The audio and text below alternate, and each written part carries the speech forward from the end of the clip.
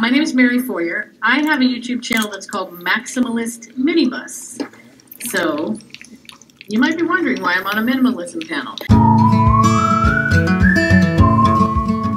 I'm Mary, my bus is Max, and on this channel we meet people, go places, and do things. Boy, after this week, it feels weird not to be driving. Are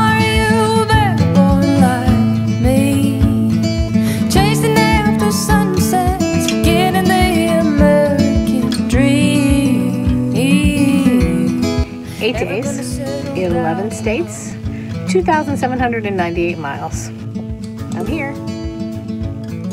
This is the volunteer campsite at the RTR, otherwise known as the lower parking lot at the La Paz County Fair. Beautiful view. It's pretty dusty.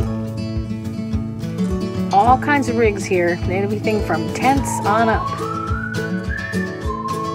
Pretty mellow, laid back. Seems like a nice place to hang out. I'm not going to stay here long term. I'm going over to Scaddan Wash to the Partiar, and I'm going to camp over there because, you know, that's where all the YouTubers are. And trying to grow my channel. You know, I'm at just under a thousand subscribers, and I want this to work because I really like doing this. So it's probably best if I go camp over there because there might be more opportunities there, you know? But I stayed here last night because the last thing I wanted to do after all that driving was go, you know, stumbling around in Scaddan Wash trying to figure out where I am. It's really dark over there. I've only been there once, so I think I gotta wait till daylight. The other reason I stayed over here is because my presentation is over here and it's at 3 o'clock today. I'm nervous, yeah. I told you before I'm nervous about showing my body because, you know, I do a good job of hiding it when I shoot, and I'm sure they're going to shoot this and then probably post it somewhere. So, yeah, I'm still nervous about that, but the nervousness has kind of shifted, and now I'm more like nervous about the presentation itself, like about what I'm going to say. Because, okay, minimalism is kind of a hot topic for me. I'm not a minimalist, okay? So that's the thing. I'm not a minimalist, and I'm about to go out there and announce that to a bunch of people who came for a seminar on minimalism.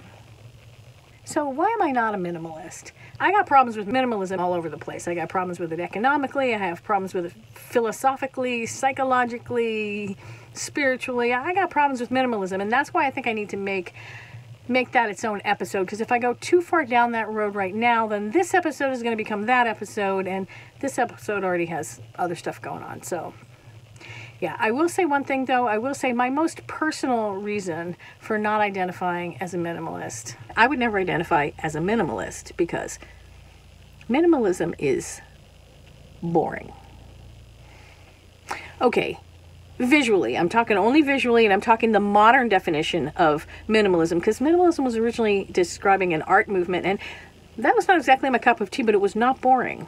You are welcome to live in the shades of gray on white as much as you like, but me, I need color and texture and weirdness.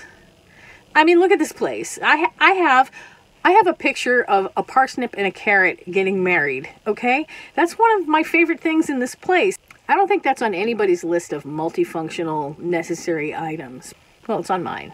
I think if I went on the space shuttle, I would take my picture of the carrot and the parsnip getting married. So why am I on this panel? What's my contribution? I actually think I have a lot to offer on this topic because as an antique dealer, I got to see a lot about how people form relationships with objects, both positive and negative. I saw people drowning under the weight of somebody else's stuff, you know, like a collector who's like collecting something that nobody really wants anymore, you know, she dies and her kids have to figure out how to dispose of the estate, you know, the estate being basically a house and a garage filled with tchotchkes nobody wants. And that's it's painful.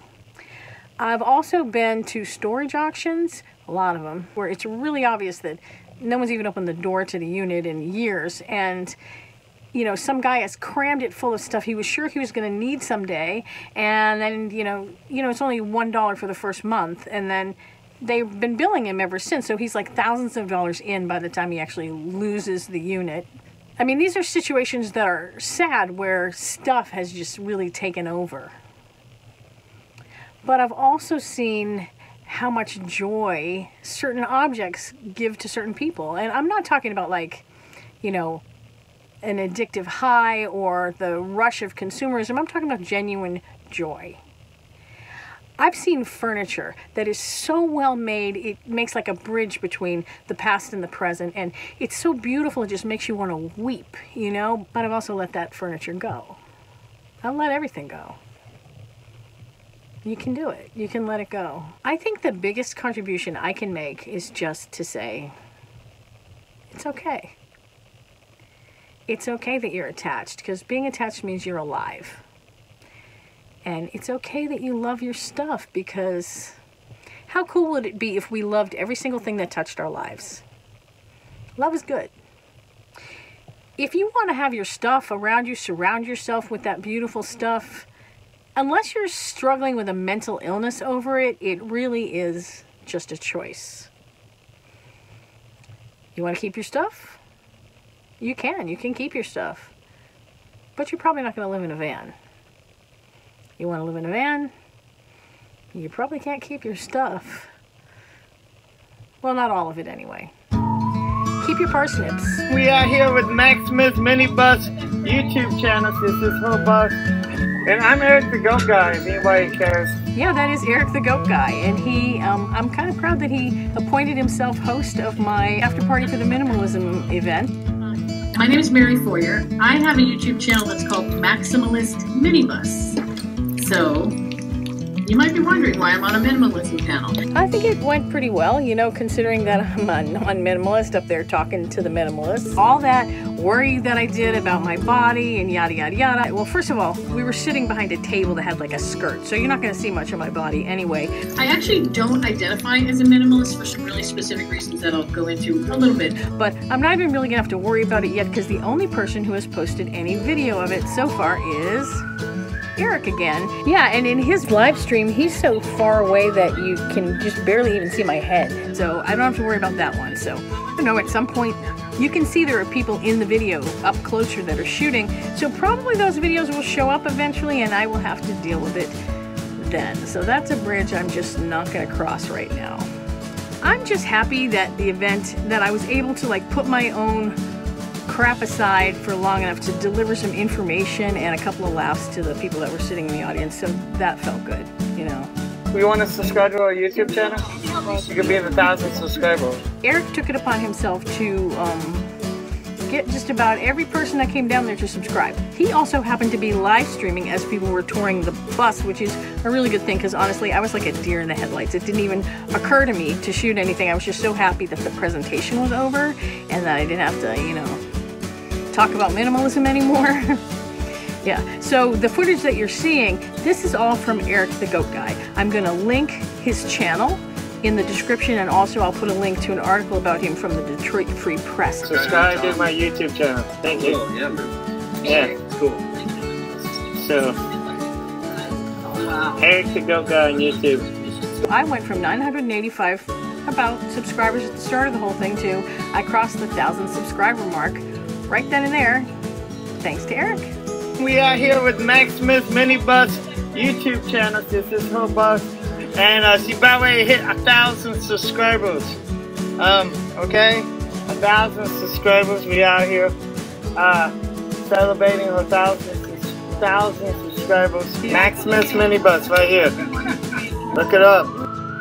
Thank you, Erick, and thank you for subscribing. Well, the sun's going down and it's getting too dark again to go over to the Party so I guess I'll stay here for one more night. I'm okay with that. I'll go over tomorrow after I get out of work. Yeah, I'm working tomorrow because I start volunteering, so that should be interesting. I'll tell you all about it. See you next time.